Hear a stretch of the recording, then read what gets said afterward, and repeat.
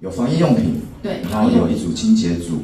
柚子、月饼，中秋节的应景食物。然安基金会陪伴韩式街友过中秋，另外还有盥洗用品，帮助他们能顺利找到工作。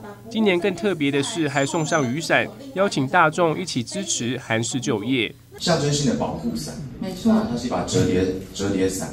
我就想要呼吁大家呢，一起为呃想要努力重新开始的韩式，帮助他们的的社福团体仁安基金会能够一起。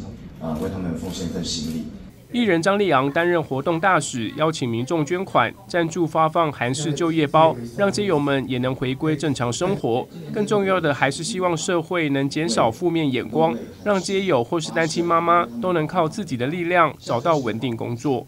在中秋节这个月圆人团圆的时候，然后邀请社会大众一起来支持我们的就业包，来帮助这些街友自立，让他们透过自己的力量可以重新站起来。仁安基金会邀请张立昂号召民众认捐六百元韩式就业包，支持中秋关怀活动，让弱势朋友也能感受社会温暖。